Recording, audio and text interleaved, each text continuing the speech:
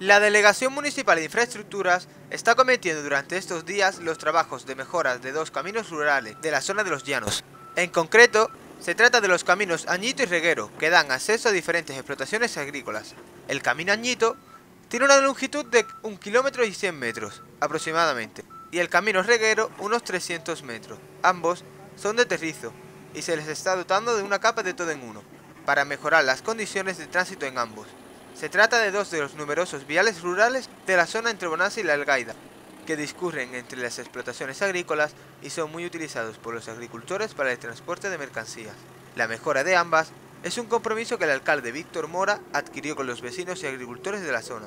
Precisamente, el responsable de infraestructuras Rafael Lousao visitó los trabajos a finales de la semana pasada junto al presidente de la Asociación de Vecinos, Alberto Vidal, para comprobar la marcha de la obra.